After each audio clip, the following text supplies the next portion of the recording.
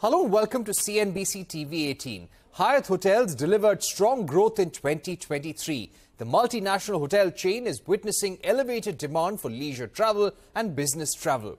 The hotel currently has 50 properties across Southwest Asia, which includes 48 in India.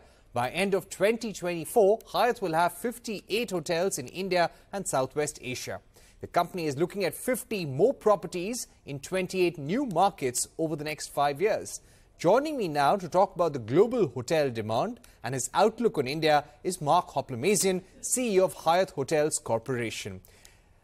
Mark, uh, thank you very much for joining us here on CNBC TV 18. Let me begin by asking you about the year gone by for Hyatt. One of the big highlights was selling of $2 billion of assets. Why was this important for the company? Sure. Well, you know, we began um, a process back in 2017 that was really oriented towards um, selling down the hotel portfolio that we owned and freeing up capital to make new investments, new investments in new platforms for growth um, that did not include as capital intensive of a profile as the ownership of our owned assets uh, had. So during that period of time, We've sold over $4 billion worth of real estate assets, and we've made over $3.5 billion of acquisitions of, of platforms that are in, uh, in new brands and management of hotels. So we've doubled the number of luxury hotels, we've tripled the number of resorts, and we've quintupled the number of, of lifestyle hotels we have, ha- we have as part of the portfolio over that period of time. So strategically, we were looking to use capital to expand into certain areas that we considered to be highly relevant to our strategy going forward for the high-end traveler. And in order to fund that, we sold some hotels um, to do so. So that was really the genesis and our execution against it. Okay, that brings me to my next question. What does the global outlook for hotel demand really look like at this juncture? The outlook for ho global hotel demand in 24 is very strong. Uh, I think the globally, what we're seeing is a continued increase in demand, especially leisure. Leisure demand has been the strongest sector segment by far since uh, COVID uh, came to an end. The demand level has been high, and supply has been actually relatively lower because not as many hotels got built over the last five years as you might see in a normal time. So the dynamics, therefore, are uh, favorable to pricing for the hotel business and also increased levels of occupancy over time. Could you also elaborate on your global expansion plans for uh, 2024? So we, we have tre tremendous expansion plans in 24. We ended the year of 2023 with the biggest pipeline of hotels around the world, 127,000 rooms. Uh, to a total of 330,000 rooms in our total portfolio as it exists today. So a significant proportion, about 40% of our existing hotel base is what exists in our pipeline for growth going forward. We expect to have a number of openings here in India, where I'm sitting with you uh, from Bangalore, uh, in China, in Japan, and in the United States, and throughout Europe. Um, the Middle East is also starting to increase significantly. We'll have we'll have some new openings in Saudi Arabia this year. Um, so we're seeing expansion across many many markets in the in the world. What's going to be the strategy for India specifically, and importance of India among your top markets? India is already a significant market for us. Uh, I think we're it, it is number two or three, uh, sorry, three or four in terms of our current and prospective presence. Uh, that is, we have 50 hotels open. We have 50 hotels in the pipeline here in India. Um, and so we, we will have um, an even broader platform of those 50 hotels that we are opening, uh, not all of which are being opened in 2024, by the way. It'll open, th these will open over the next several years. We're entering into 28 new markets in India, and that's really notable because it's really a reflection of the fact that Indians are discovering their own country in a more pronounced way, and leisure travel has been the big driver. So we're very excited about that. Um, I've been a big supporter and, and, and a bull on India since I've been in my position, which is over 17 years now.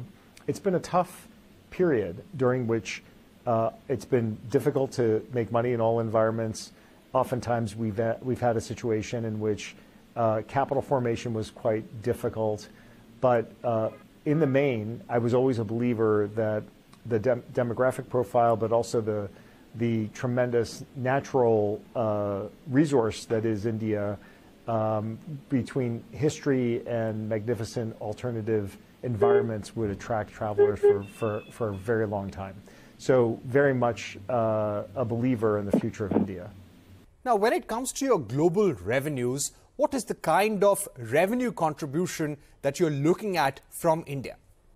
Yes, so if you look at um, a total revenue base, excluding some, we have a 50% joint venture interest in a now public company called Juniper Hotels.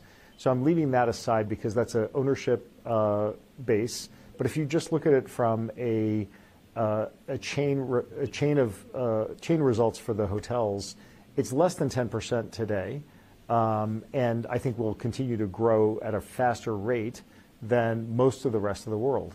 And so I think that that will that percentage will increase over time, but it's still a relatively small amount. And the reason for that is because the U.S. was our was the market in which we began, and we have such a large presence there. Uh, nonetheless, I think that uh, if you if you ask me a decade from now, uh, I would say India will be many-fold the time the the size that we have today. And if you ask me what it would look like in 30 or 40 years, I think it really could easily be the second largest market we have in the, in the company. What will uh, drive the growth of the hotel industry in India, according to you?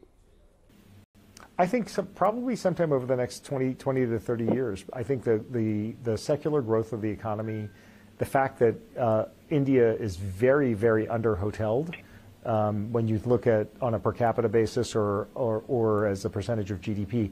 For example, hospitality in India represents something like 6% of GDP.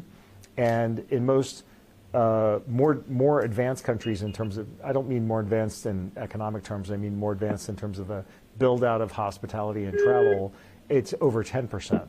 So 400 basis points of increase just within India is a reflection of the fact that it's under hoteled and um, the incidence of inbound travel will go up over time. How much is Hyatt looking to invest in India? Is there any guidance that you could give us? Yeah, I mean, right now, unlike all of our all of our um, uh, competitors outside of India, that is, companies that are multi-brand, multinational businesses that operate in India, hotel companies in particular, we have by far the largest investment in India. We we invested directly in property development over the last 25 years. Um, and that is within the Juniper JV that we have that is now public. Um, and we own a, a, large stake in that, in that business, uh, something like 38% of the company. So we already have a very large investment there, and we've invested in building the infrastructure that's required to run a great enterprise here in India. So those are the principal ways in which we've already invested in, in the country. But, but again, what about uh, investment plans for the future? Yeah, in the future, I don't see us investing further in property development. I think Juniper itself will be a growth vehicle and will acquire other hotels. Um, I'm not sure that that will require us putting additional capital into Juniper because it is a public company and has its own capital base. Uh, so the, the kinds of investments we will be making are more in human capital, in marketing and sales infrastructure, and in digital and technology assets. Um, so uh, that that is the nature of those investments. Um, and I don't have a, specific figure for you in terms of uh, the costs of those things over the next several years, but it's going to be, uh, I think, designed to actually allow us to grow faster and do more in India than we than we do today. How does the hospitality sector get impacted by the geopolitical situation that we are in currently and the two wars that uh, the world continues to face? Yes. So, look, um, I think the economic outlook in general for the global economy is positive. It is also true uh, that there are geopolitical strains and stresses uh, across the world. Yes, there's a large scale war underway in Europe, uh, and there are other geopolitical moves that are underway that are creating stresses, whether that's um, a China Taiwan issue or uh, other things that are that are percolating uh, that that relate to um, the global sense of peace and stability, like Israel and Gaza. So I would say, generally speaking, people don't like uncertainty and people don't like uh, stresses where there's danger involved. That's a pretty obvious statement, of course, but it does hurt travel. And so we've seen in the past when there have been disruptions, whether that was the first Gulf War back in 1990 91 or 9 11 or um, you know the more recent uh, war in, in Europe, it does affect travel. And people do trade away from areas where um, there are areas of conflict. So, yes, I think all of that is not good for travel. Um, and so I pray that we will find much more peace in this world. Finally, leave us with three thoughts about India. If we were to ask you about three focus points, what would that be? Three focus points for India. Okay, first, um, discovery of the country by Indians. Uh, the leisure sector has grown faster than, than all others, and it's been domestic travel primarily. When you look at domestic versus inbound leisure spending, it's something like seven to one in terms of size of total uh, dollars being spent in country uh, by Indians or by inbound travelers.